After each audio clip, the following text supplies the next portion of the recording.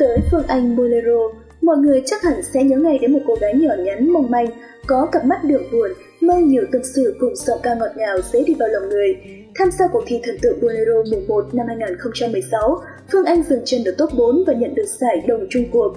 Không những thế, em còn được người hâm mộ ưu ái dành tặng cho cái tên Ngọc Nữ Bolero bởi gương mặt tươi trẻ cùng cách hát mới Bolero rất riêng, được cả người có tuổi lẫn giới trẻ yêu Bolero chấp nhận. Theo dõi hành trình sự nghiệp của Phương Anh, khán giả sẽ thấy được sự nỗ lực hết mình của một cô gái trẻ mang trong mình niềm đam mê cháy bỏng đối với âm nhạc. Giọng ca non nớt ngày nào nay đã trở thành bản lĩnh và chuyên nghiệp hơn rất nhiều. Và hơn hết, từ chia sẻ của Phương Anh về những khó khăn mà em đã trải qua, ta mới thấy được những gì em có ngày hôm nay là hoàn toàn xứng đáng. Chuyện tình ta đã ghi những mùa trăng chiến trường anh bước đi. Có nàng hoen đôi mi ngóng theo đường vắng Phương Anh Bolero tên thật là Trần Phương Anh, em sinh năm 1993 và đến từ giáo xứ Bình Đức thuộc giáo phận Buôn Mê Thuột. Vì gia đình nghèo khó, bố lại bị tai nạn, nên ngay từ khi còn nhỏ, Phương Anh đã phải bươn trải cùng mẹ để kiếm sống. Và cũng chính tại mảnh đất này, Phương Anh tham gia vào các lớp giáo lý, cũng như các sinh hoạt của nhà thờ. Đặc biệt, với niềm đam mê ca hát từ nhỏ, nên em quyết định tham gia vào ca đoàn Anton thuộc giáo xứ Vinh Đức. Sau này, khi vào sống ở Sài Gòn, Phương Anh cũng chính là thành viên tích cực trong ca đoàn phục sinh, giáo xứ Mân Côi. Những năm đầu mới vào đất Sài Gòn, Phương Anh vừa theo học trường sư phạm mẫu giáo trung ương, vừa cần mẫn đi làm thêm phục vụ các nhà hàng, quán nước. Và cứ thế cuộc sống của em ngày càng cơ cực khi đứa em trai 18 tuổi bước vào Sài Gòn. Đây là khoảng thời gian Phương Anh gác lại việc học để đi làm, chỉ với mong muốn được thay mẹ lo cho đứa em có được học hành đến nơi đến chốn. Thời gian sau này, Phương Anh mới đầu định hướng cho tương lai của mình bằng cách tự thưởng cho bản thân những buổi học luyện thanh, những bộ hồ sơ hy vọng bước chân vào cánh cửa nhạc viện thành phố Hồ Chí Minh. Thời điểm đó, Phương Ý, em gái của Phương Anh cũng vào Sài Gòn, trải qua hàng loạt khó khăn cũng như những rào cản, hai chị em cùng hoàn thành được ước nguyện của mình. Đến thời điểm hiện tại, công việc của Phương Anh hiện giờ vẫn là vừa đi học vừa tham gia phòng trà để kiếm thêm thu nhập.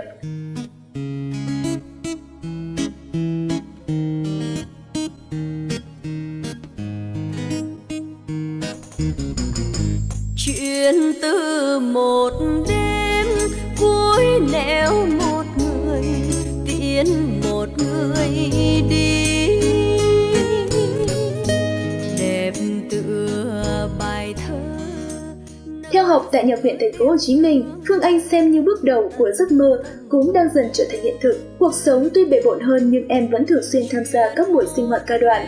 Bởi với Phương Anh, được hát để góp phần giúp cho bầu khí thánh lễ được thánh thiêng và trang trọng vẫn sẽ là một niềm vui lớn trong đời. Khi nhận xét về giọng ca này, anh Nguyễn Đình Nhân, ca trưởng ca đoàn Anton đã cho biết ở Phương Anh thì điều tôi quý nhất đó chính là ý thức cầu tiến và sự nghiêm túc trong sự nghiệp công việc.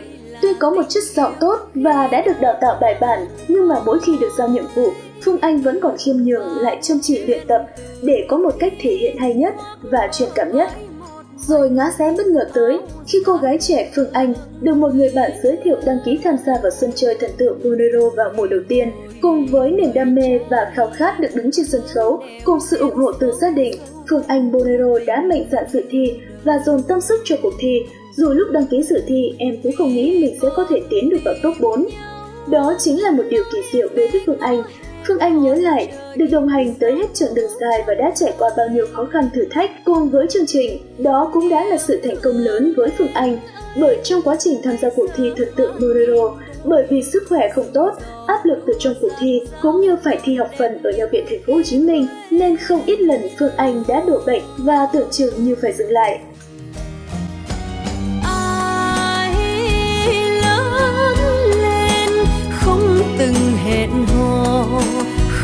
Từng yêu thương nhưng có mấy người tìm được một tình yêu ngã thương trải qua một chặng đường dài với rất nhiều những thử thách khác nhau nhưng nhờ vào sự động viên của thầy Quang Linh của bạn bè trong đội. Cùng quyết tâm thực hiện ước mơ, cho nên Phương Anh đã cố gắng vượt lên chính mình.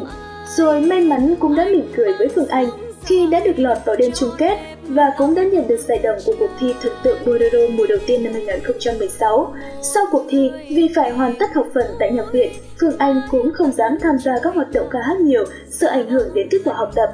Tuy nhiên Phương Anh Bolero vẫn xuất hiện ở các sân khấu, phòng trà và được những khán giả của dòng nhạc Bolero yêu thích mến mộ. Theo dõi hành trình của Phương Anh, khán giả thực sự mừng vì em ngày càng trưởng thành, bản lĩnh và chuyên nghiệp. Đặc biệt, Phương Anh đã để lại ấn tượng sâu sắc với ca khúc Tình người ngoại đạo. Thể hiện ca khúc này em không chỉ hát mà là đang tự kể câu chuyện tình của đời mình. Ấy thế nên, hình ảnh Phương Anh quỷ gối mới lắm và xúc động đến vậy. Dù Phương Anh Bolero chưa phải là cái tên được nhắc đến nhiều trong giới ca sĩ thể hiện dòng nhạc này, nhưng nếu ai đã một lần nghe em thể hiện ca khúc với sự ra diết khắc khoải nghẹn ngào, có lẽ sẽ khó có thể quên được giọng hát của em.